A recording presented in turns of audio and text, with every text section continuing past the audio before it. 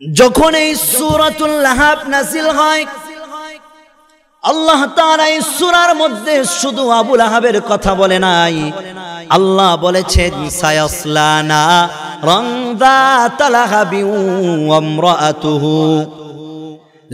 ও অগ্নিতে জাহান্নামের মধ্যে আবুল আহাব এবং তার স্ত্রী নিক্ষিপ্ত হবে, তাদেরকে নিক্ষেপ করা হবে জাহান জাহান্নামের মধ্যে। এ আয়াতে কারিমা যখন নাজিল হয়, আবুল আহাবের স্ত্রী, তার নাম হলো উম্মে জামিল। তার পরিচয় আল্লাহ তালা তুলে ধরেছেন হাম্মালাতাল হাতাব। সে হলো লাকড়ির বোঝা বহনকারী। আবুল আহাবের স্ত্রী লাকড়ি বোঝা বহন করতেন, লাকড়ি তিনি টোকাইতেন। তার স্ত্রী যখন জানতে পারল মোহাম্মদের আল্লাহ তাদের বিরুদ্ধে আয়াতে কারিমা নাজিল করেছে সুরালাহাব নাজিল করেছে।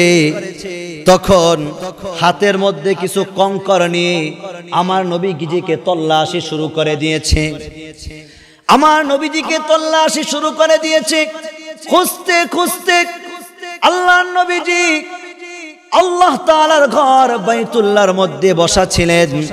তার সাথে ছিলেন আবু বকর রাদিয়াল্লাহু আনহু।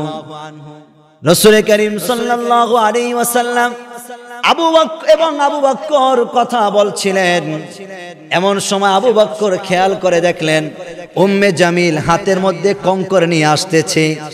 আবু বকর বললেন, ইয়া রাসূলুল্লাহ, ইয়া হাবিবাল্লাহ, আপনার চাচি উম্মে জামিল আসতেছে মনে হয়। আপনার দেহের মধ্যে কঙ্কর নিক্ষেপ করবে।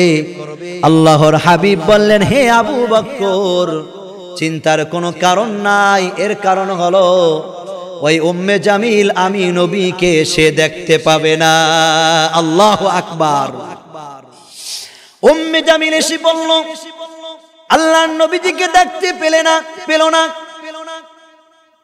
আবু বক্করকে জিজ্ঞেস করলেন তোমার সঙ্গে মোহাম্মদ কোথায়? মোহাম্মদ নাকি আমার নামে কুচ্ছা রটনা করেছে।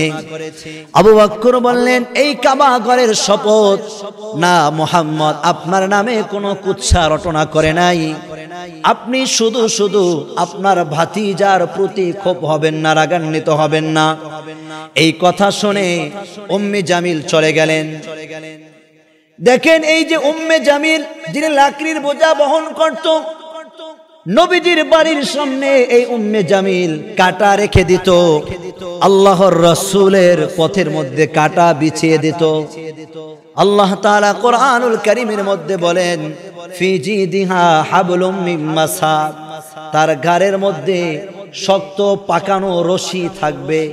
জাহান্নামের মধ্যে, অর্থাৎ তার ঘাড়ের মধ্যে তাফসির কারক বলেন, লোহার শিকল বাঁধা হবে টেনে টেনে আল্লাহর ফিরিস্তারা তাকে জাহান নামে নিয়ে যাবে।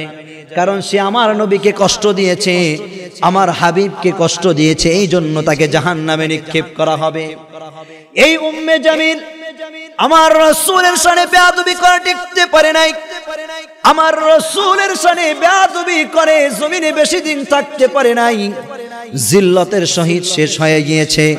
তাফসির কারক বলেন, উম্মে জামিল একদিন মাথার মধ্যে লাকড়ি নিয়ে পাথরের ওপর বসা। এমন সময় আল্লাহ তার একজন ফিরিস্তা এসে উম্মে জামিলের মাথা থেকে সে লাকড়ির বোঝাটা ফেলে দেয়। যে রশি ছিল সে রশি উম্মে জামিলের গলার মধ্যে ফাঁস লেগে যায়। ওই অবস্থায় উম্মে জামিল এই দুনিয়া থেকে বিদায় হয়ে যায়। তাহলে তাফসির কারকের এই ঘটনা দ্বারা বোঝা যায় আবুল আহাব এবং অতাইবার মতো উম্মে জামিলো এই জমিনে বেশি দিন টিকতে পারে নাই। জিল্লতের সহিত এই জমিন থেকে বিদায় নিয়েছে, কথা বলেন ঠিক কিনা?